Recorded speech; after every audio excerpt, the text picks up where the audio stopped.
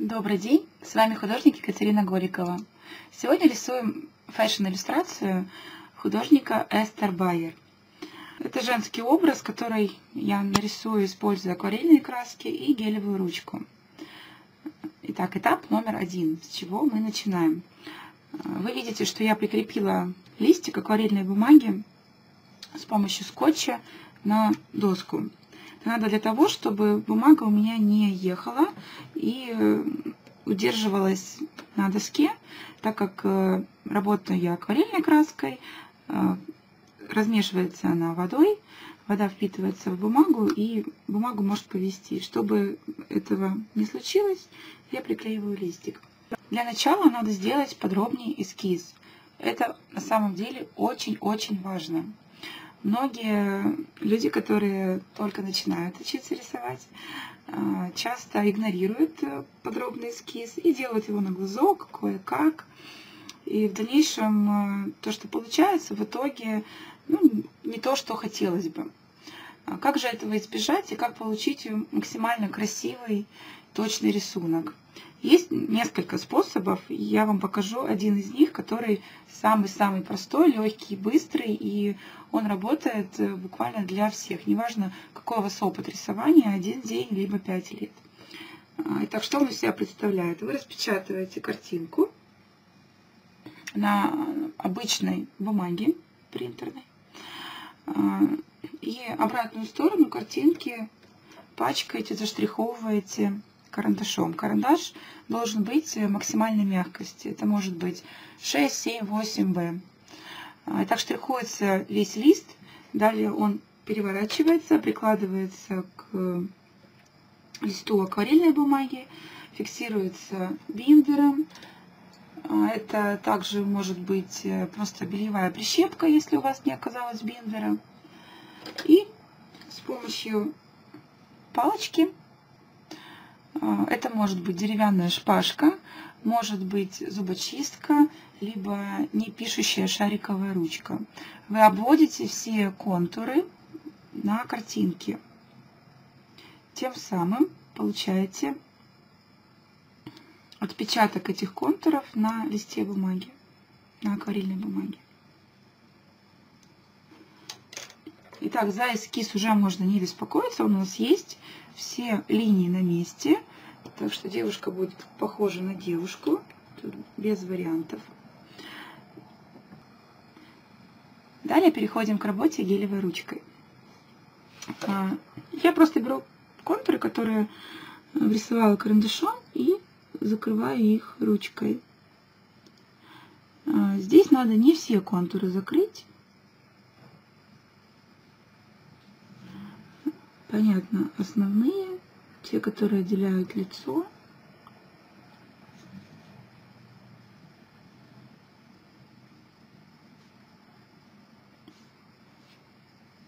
Здесь очень важно стараться делать ровные линии, цельные. То есть вы можете их прерывать, но не часто.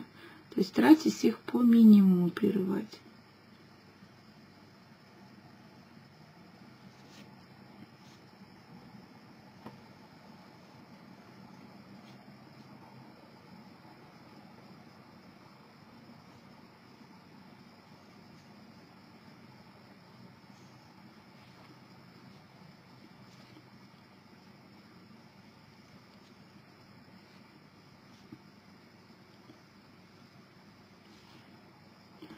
Обязательно уточняем глаза, контуры глаз.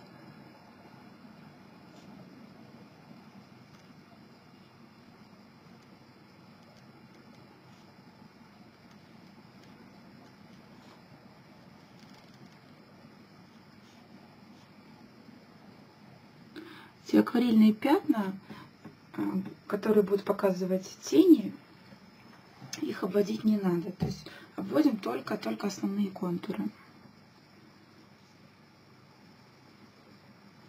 Плечо.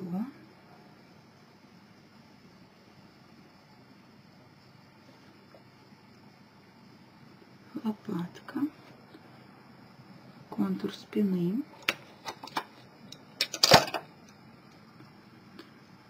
пряди волос.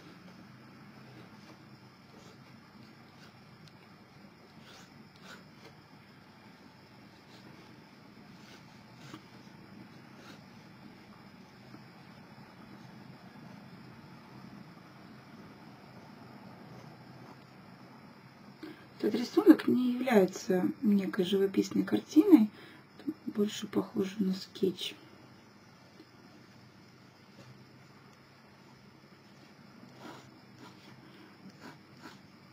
Волосы легкими, плавными движениями. Ничего страшного не произойдет, если какие-то пряди вы не попадете, а сделаете свой вариант. Но стараться попасть в карандашную линию надо.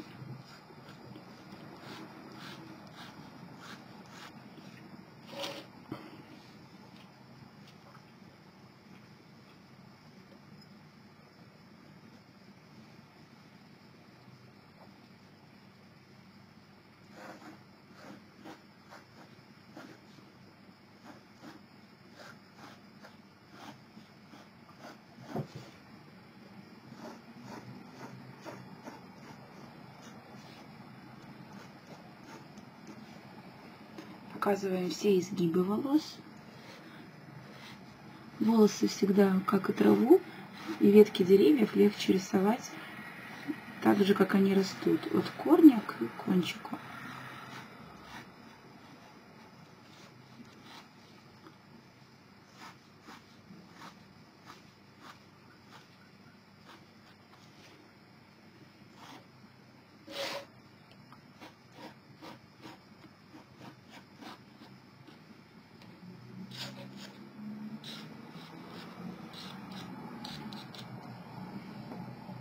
Вот, эскиз готов. И линии, выполненные гелевой ручкой, тоже я закончила делать. Следующий этап это работа акварельными красками. А, я буду рисовать, э, используя 24 цвета набор Ладога.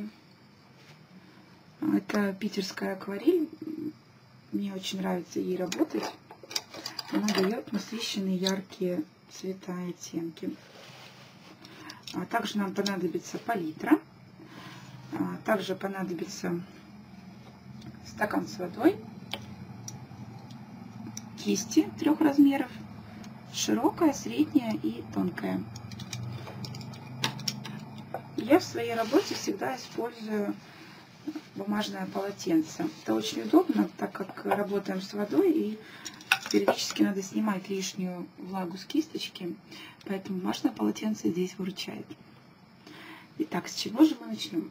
Я советую сейчас стереть э, карандашные линии, чтобы они нам не мешали, не просвечивали. Э, буду делать я это мягкой резинкой.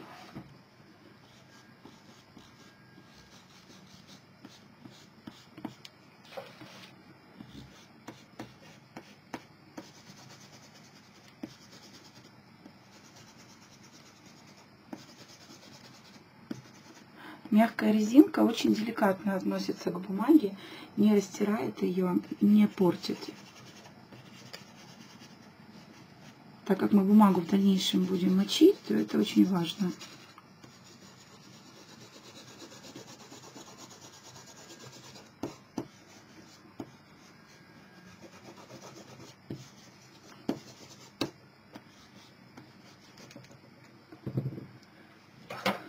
Катышки от резинки удобно смахивать широкой кисточкой.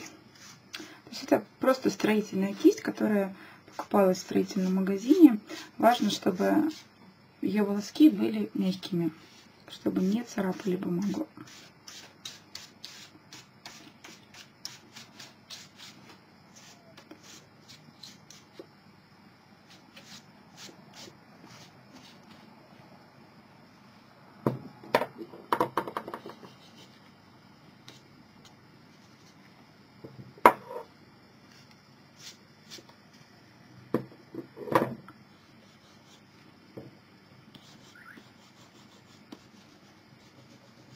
Я еще раз пройдусь по контурам, которые у меня остались, которые не видны, так как краска акварельная прозрачная, то карандашные линии будут все видны. Поэтому желательно их убрать, чтобы они не просвечивались.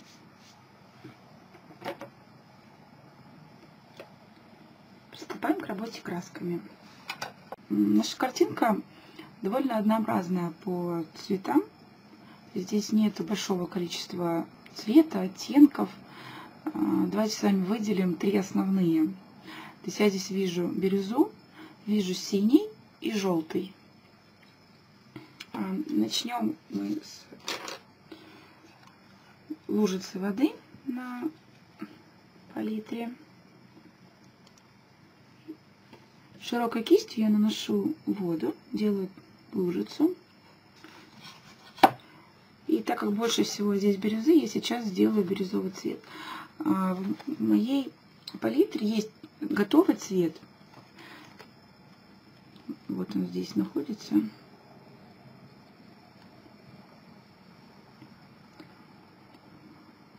Но здесь он более зеленоватый. А, чтобы его сделать более зеленоватым, я просто добавлю светлой зелени. Получится вот такой цвет морской волны.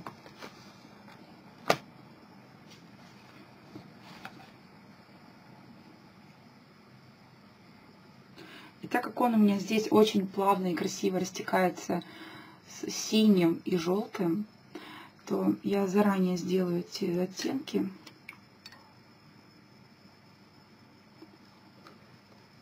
желтый теплый кадмий.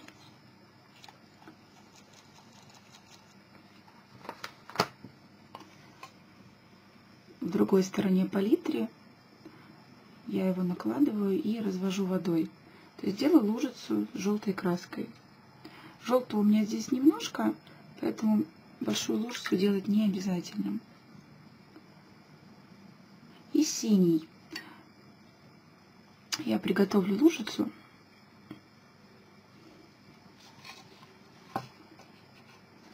А, синий я сделаю, смешав два оттенка, ультрамарин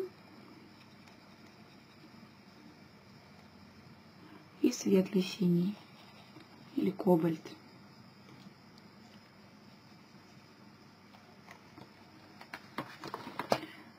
Вот у меня мы получились три основные цвета, с которыми я буду работать, которыми я буду покрывать мою красивую девушку. Чтобы эти краски растекались плавно и нежно, мне нужно намочить поверхность в тех местах, где у меня будет расплываться краска. Так, делаю это широкой кистью, мочу ее в воде и быстрыми мазочками, быстрыми движениями я накладываю в тех местах, где есть волосы.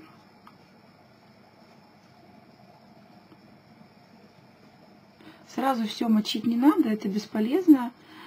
А, пока вы будете работать э, с одной частью мокрого листа, вторая часть высохнет и придется ее мочить заново. Поэтому сразу все мочить не будем. Обращаю ваше внимание, что я очень аккуратно ввожу кисточкой, чтобы вода не поплыла на лицо. Так, вот я намочила кусочек, беру красивую бирюзу и такими легкими движениями я ее накладываю. То есть я ее ни в коем случае не втираю, просто плавными движениями накладываю на бумагу.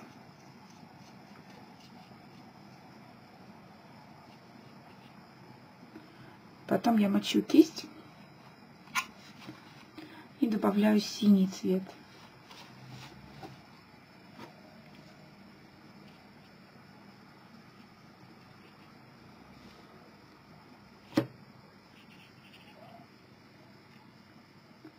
И вода волшебным образом дает краске растечься очень красиво, естественно. Ни одной кисточкой не сделаешь таких красивых плавных переходов. Там, где появляется желтый, я добавляю желтый. он будет сам расплываться, перетекать в синий и зеленый создавать а, свои оттенки желтого и зеленого.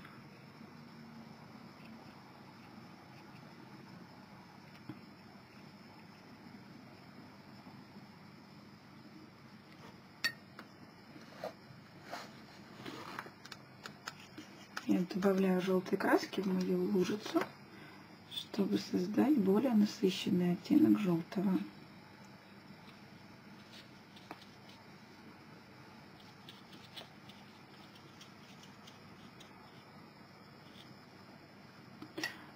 Ну, я сейчас перейду на другую кисть, так как эта кисть широкая и дает очень много влаги. У меня тут уже получились лужи. Я перейду на кисть потоньше. И по тому же принципу, то есть добавляю краски в мои лужи. Количество луж я не меняю, у меня их столько же, их три. Бирюза, синий и желтый. Добавляю бирюзы, зеленого и желтого. Очень важно после каждого цвета хорошенько отмывать кисточку, иначе желтый у вас не будет желтым, а будет зеленым. Чтобы этого не произошло, кисточку надо мыть. Вот следующие слои уже не должны быть такими мокрыми, потому что воды здесь и так много. Воды много, а цвета мало. Сейчас я тонкой кисточкой ставлю просто такие кляксы, которые добавят цвета. Это важно сделать в тот период, пока здесь лужи, пока тут мокро, чтобы краска сама растекалась.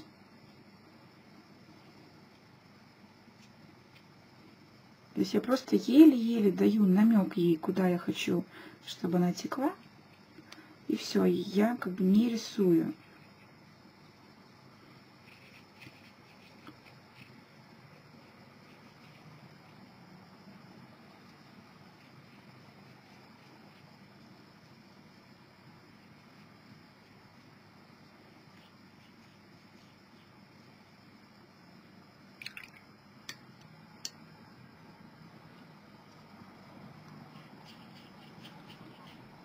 Добавляю больше зеленого.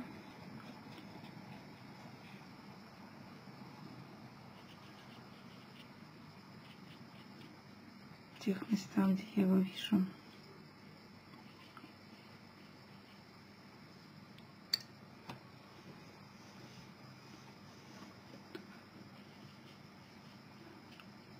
Если вдруг у вас получилась слишком большая лужа, ее можно убрать с помощью той же салфетки.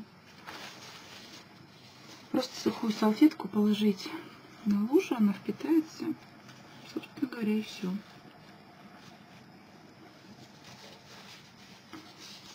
Воды станет меньше, и краски тоже.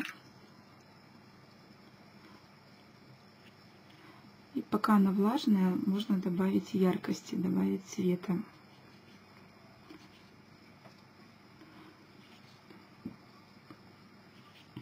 И дать возможность краскам самим растекаться, расплываться, создавать переходы и переливы.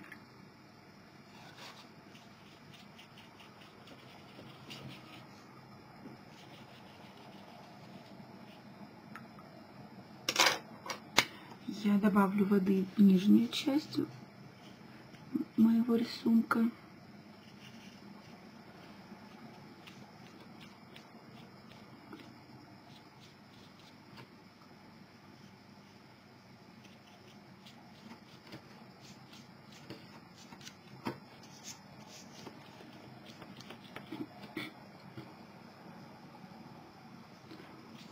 Вода у меня окрасилась зеленый цвет,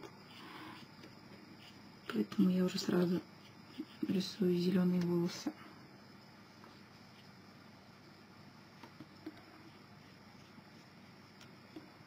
Так, с лицом очень аккуратно и бережно обращаемся, чтобы краска не поплыла, не задела лицо.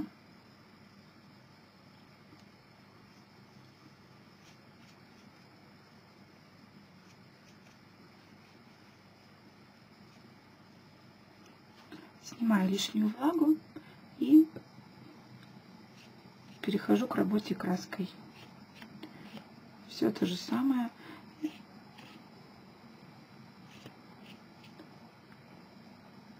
Здесь я мазки накладываю с учетом движения волос. То есть как будто я поглаживаю волосы.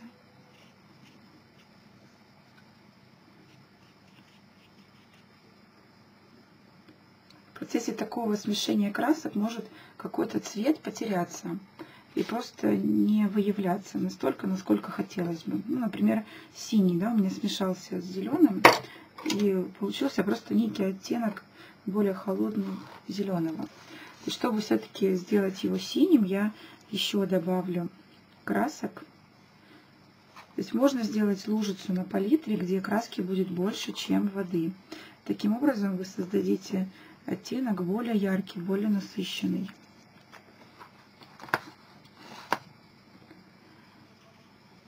Вот я сделала синий цвет и такими плавными движениями наношу его давая возможность краске самостоятельно расплываться.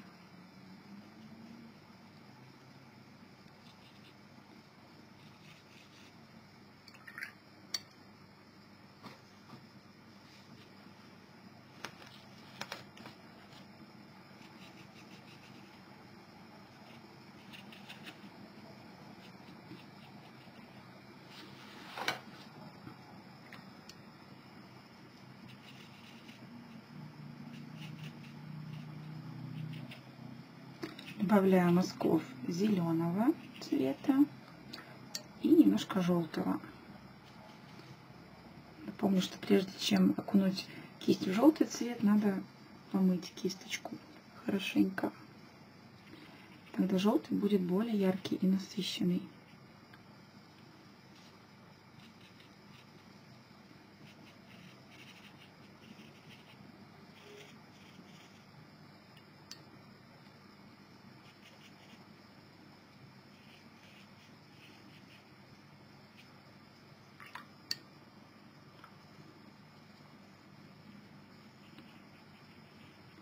Чтобы проявить потерявшиеся желтые пятна, поступим точно так же, как и синим. В лужицу на палитре добавим больше краски.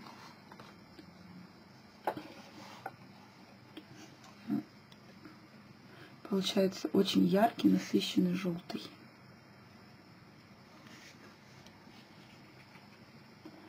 И такими же движениями я его накладываю. Можно сделать его поярче, добавив такой оранжевый. Я оранжевый добавляю в мою желтую лужицу. Станет такой ближе к апельсину цвет. И его тоже такими тычущими движениями я разнесу.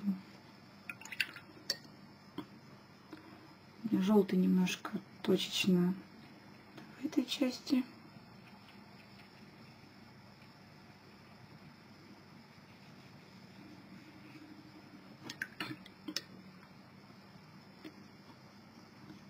Желтый здесь.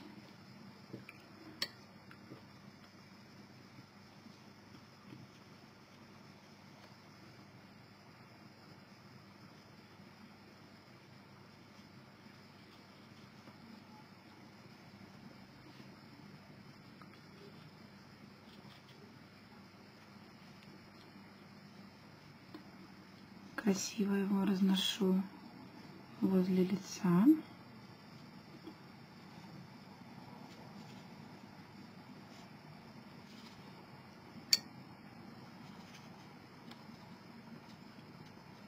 Добавляю вкрапление синего. Если пятна сами по себе небольшие, то можно использовать довольно тонкую кисть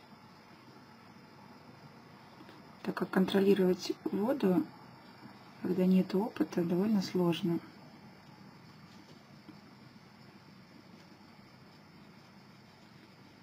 Чтобы избежать больших луж, можно брать кисть потоньше.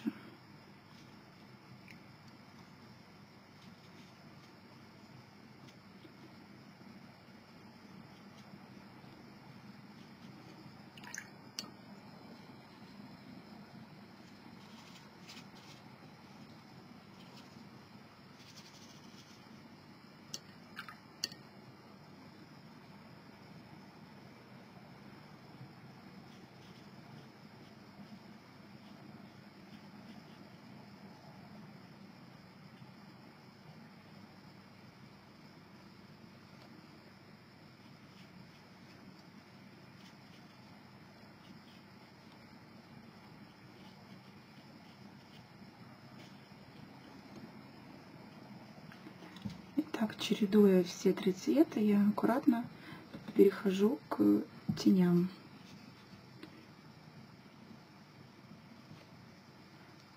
Влажной кисточкой очень бережно я разношу краску.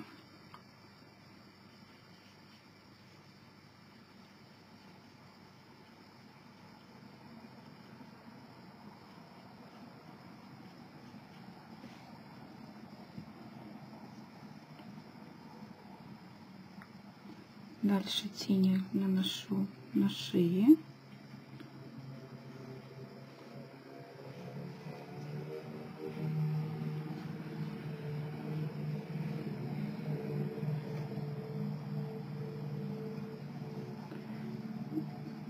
Бирюза у меня вот в этом месте.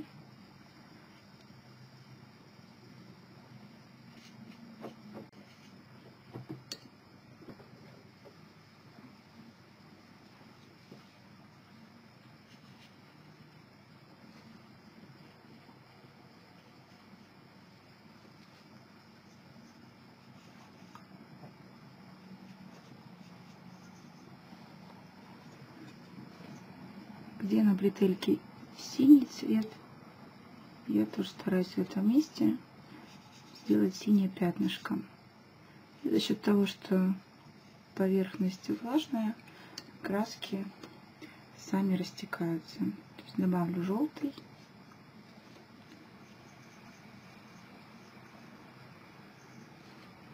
Таким образом.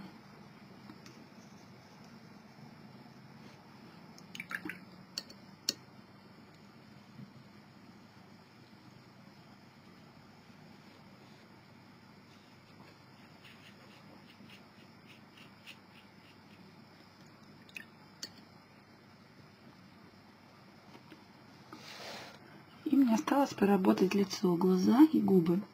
Здесь очень мало желтого, в основном оттенки зеленого и синего. Смешивая те же цвета, ультрамарин, синий светлый,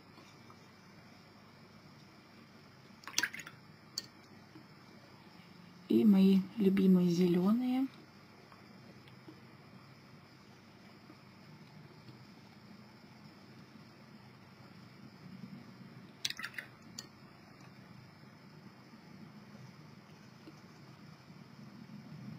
Начну я с губ.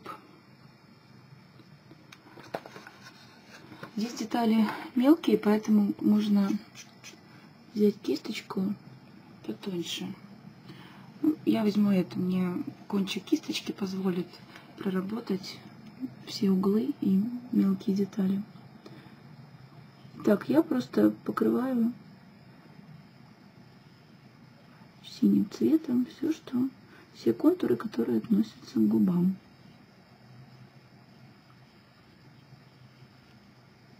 Здесь важны два момента. Первый – это достаточно воды, чтобы разносилась краска. И второй – воды не, должно быть много, чтобы не было лужи. Если воды все-таки получилось много, лишнюю воду убираем на бумагу, на салфетку Опять можно пройтись сухой кисточкой несколько раз по пятнышку и снять лишнюю влагу. Помимо губ, здесь еще тень под губой тоже имеет синий цвет. Тень под носом падающая также окрашена в синий.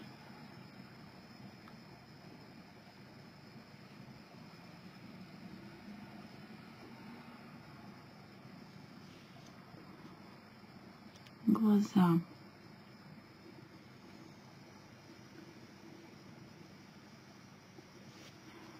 В глазах уже больше зеленого.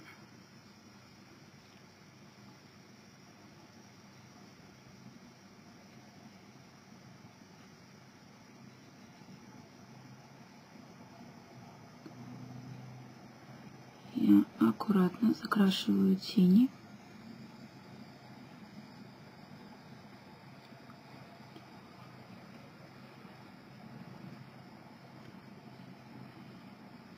Место под бровью, над ней.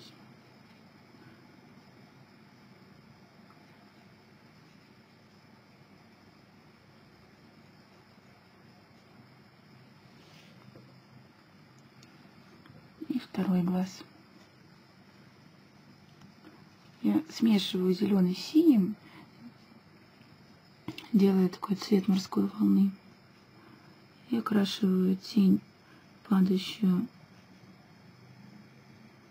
под вторым глазом, под бровью. И там оставлю место для черного.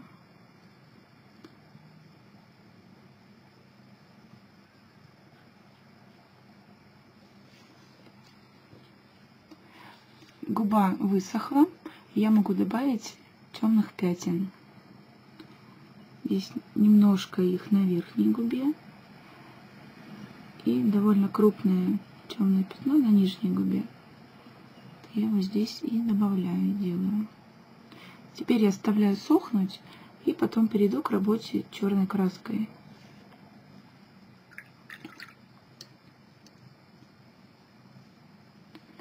Пока сохнут глаза и губы, можно еще раз пройтись по тем местам, которые были сделаны ранее, и добавить ярких пятен. Ну, например, у меня недостаточно, на мой взгляд, синий вот в этой стороне. Я его намочу, небольшой кусочек, и добавлю синих пятен. После высыхания краска акварельная, как правило, становится светлее, и чтобы достичь насыщенных тонов, то надо обязательно добавлять слои.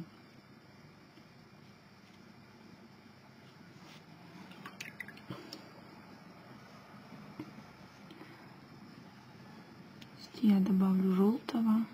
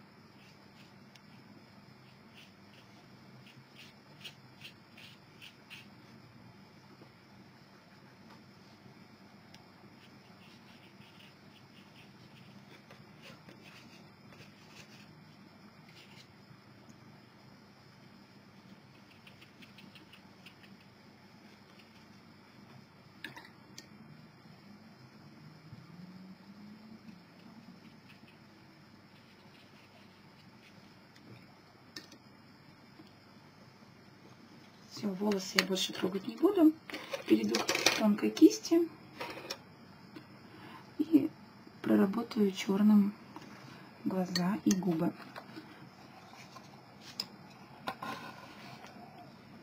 Для этого я беру черный цвет и делаю маленькую лужицу, используя воду и черную краску на своей палитре. Много воды здесь не надо, так как черный цвет нам нужен максимальной яркости. Но в то же время он легко и свободно должен ложиться. То есть эффекта чер... Э, сухой кисти нам здесь не надо.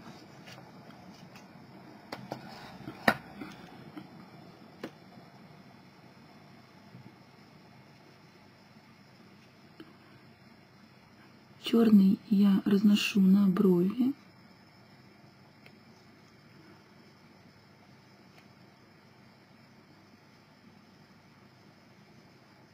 И ресницы.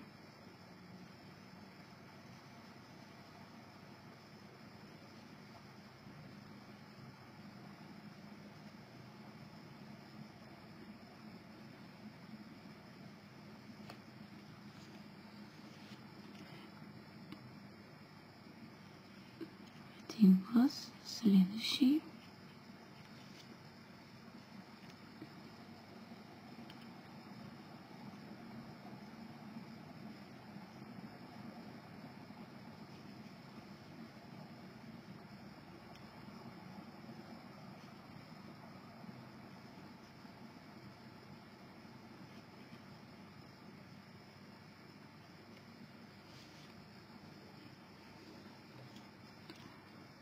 Можно прорисовать ноздрю одним движением.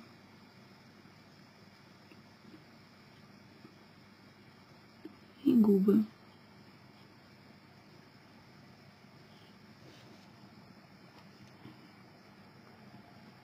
Уголки губ, они обычно темнее.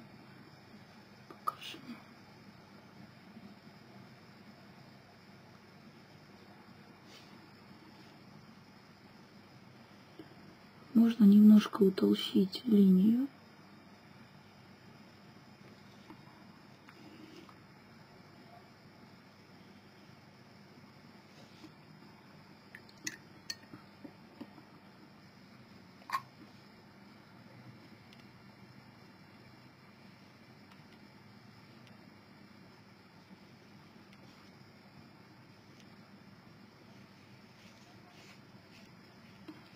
Я кое-где пройдусь тонкой кистью. Есть я не буду все линии утолщать. Просто более выразительным в некоторых местах.